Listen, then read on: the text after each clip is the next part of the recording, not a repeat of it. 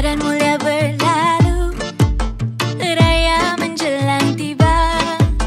Sebulan berhari raya buat semua umat manusia.